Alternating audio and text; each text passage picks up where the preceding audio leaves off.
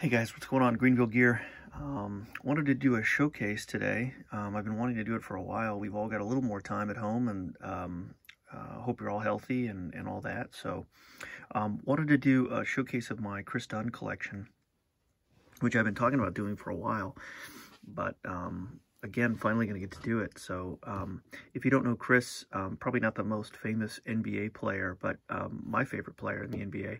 And that's what's fun about having a personal collection, right? Um, so um, Kris plays for the Chicago Bulls. Before that, he played for um, the Minnesota Timberwolves. He was drafted, I think, number six overall out of Providence. And so I got to see his whole college career um, start to finish, and that was really fun. So, great defensive player, um, also good guy, and and um, so it's just been really fun to collect him. So let me show you some of the stuff that I've been um, collecting, and it's been nice because he's my favorite player, and his cards are um, relatively inexpensive, which is kind of nice. Um, he's had a good career so far. I think he was leading the league in steals, for example. Again, really good defensive player. before the season got kind of aborted. Uh, but here you can see some of the variations of the old Prizm here. There's the green disco. There's another, what is that, a silver holo. And if you're one of these experts on all these Prizms and stuff, you can certainly leave a comment below. That would be cool. Um, and there's a red cracked ice. So I've got, I guess, six variations of this one the candy stripe and the pink cracked ice and the silver holo and the green disco. And it's just kind of fun to collect them. And um, it's just neat to get on eBay and kind of poke around and look for these and try to get them for a dollar or something like that. So that's been really fun. I'm kind of building the way that I'll show this. Um, I'll get to the slabbed cards and then the um, autos and so on. And, and, right before that, I'll show the um, patches and so on. So let me show you a few more um, of these kinds of cards. Here's Optic.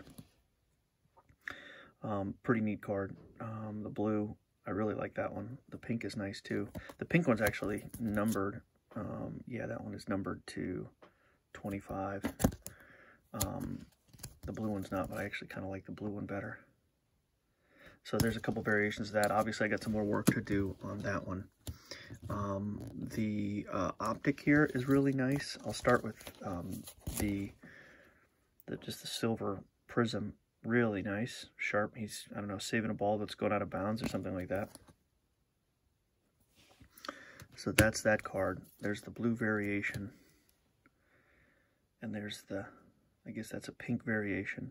And again, I'm not an expert on these. I, am actually, I don't collect a lot of basketball, but I definitely collect, obviously, Kris Dunn. So, so that's um, that. And then my favorite one of this version is the orange. I just, I think orange cards in baseball and basketball and I think the orange cards just always look cool, and it looks really nice with the red um, for the Bulls. What's cool about this one, too, is that one's numbered as well um, to 199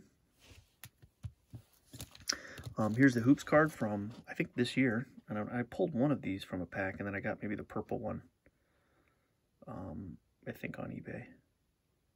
So that's kind of a cool card, just bringing the, the ball up the court. Um, and then this year's Prizm, I think, is just an awesome card. He's grabbing a rebound or saving a ball or calling a timeout. I'm, I'm not exactly sure. Um, but there's that card. So that's the, that's actually not the base card because that's the, uh, that's the Prizm, right? That's the silver. So it's kind of a little nicer than the other, but that's the silver. And then I've got a couple other um, variations. I've got the, this is the blue disco and I don't know what this one is called. And again, there are people who know this a lot better than me. That's the purple. Pretty neat. And I think there are more variations of this out there that I've got to collect. Um, there's the red cracked ice, which is nice. And there's the green. I actually ended up with two of the greens. So one of my buddies in um, Rhode Island is going to get the other green. He watches the channel, so he'll know but I'll keep it a surprise, so maybe you won't see this video. And then, um, this is my favorite one of the series. This is the orange cracked ice. I just love the way that orange looks with the red for the Bulls. So sweet. And not numbered or anything, but just I think that's probably my favorite of any of the Prizm cards. and I did forget, one of these is numbered to, yeah, look at this one. This is kind of the green disco from that first Prizm set. I forgot. This is this is actually three of five, which is pretty cool that they made five of the greens. And I, I, I don't know, I have one. It's kind of neat. I get kind of into that. I like the, the numbered cards. Okay, so that's that. Let me show you a few of the patch cards. These are um, also really fun. There's one recent um, National Treasures card. The Bulls with a nice black patch. Numbered to 49. There's a uh, Crown Royale jerseys. Numbered to 49. And again, it pays to like a player who's not as desirable um, to collectors because now I can get all the cards that I want and I can get them at an affordable price. So it's really fun to just be a collector and, and so there's that one. These were not expensive cards. Here's a, an older one from the Timberwolves for the jersey. And that one is numbered to 99. There's Panini Select Timberwolves jersey. Throwback memorabilia. Game worn material, which I just think is so cool. So, you know, so many of these patches now are just, you know, not game worn.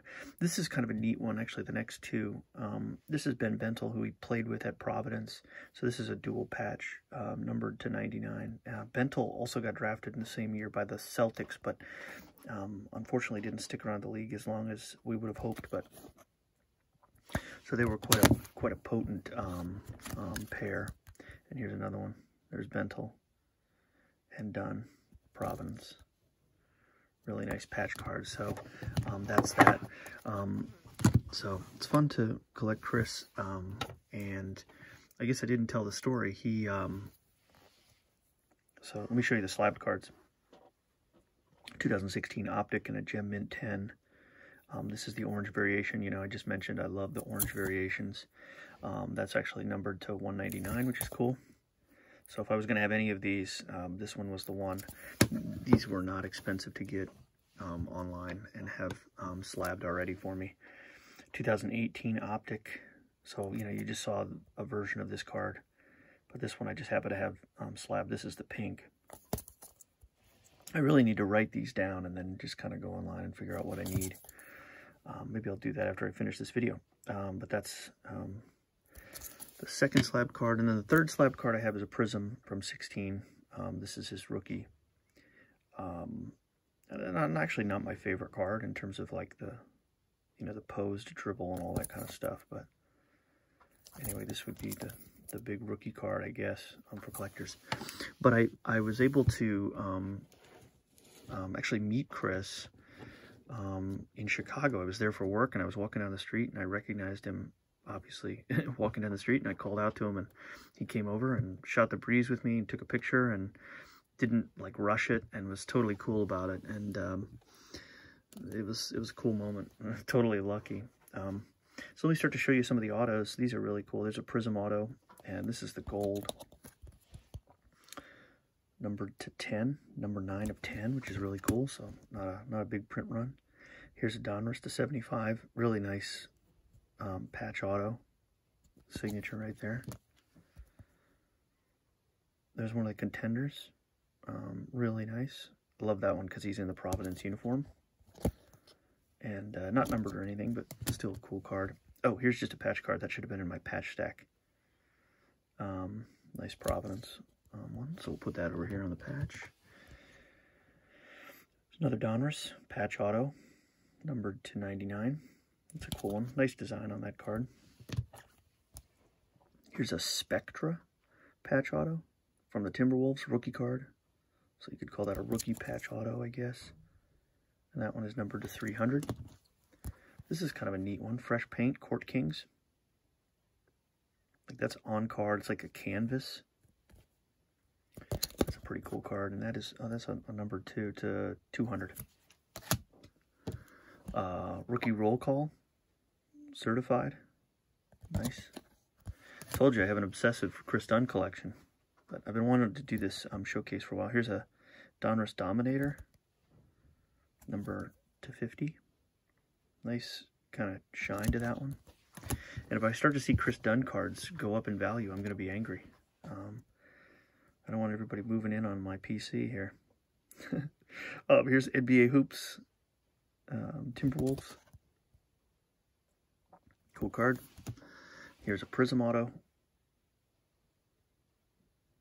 Really nice.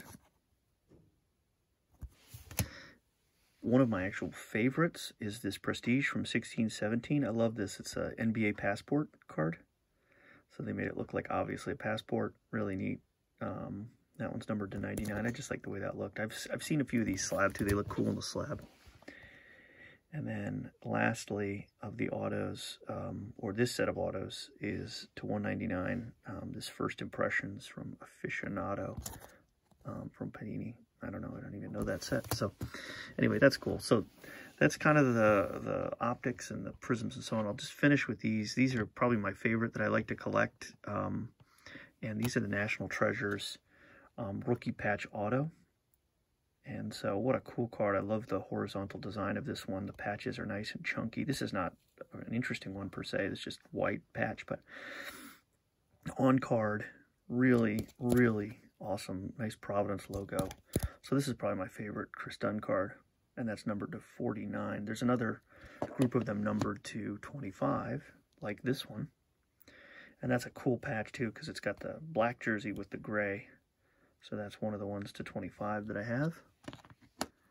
Here's another one to 25 that I have. A really cool three color patch, as you see here, black, white, and gray on card, number 20 of 25.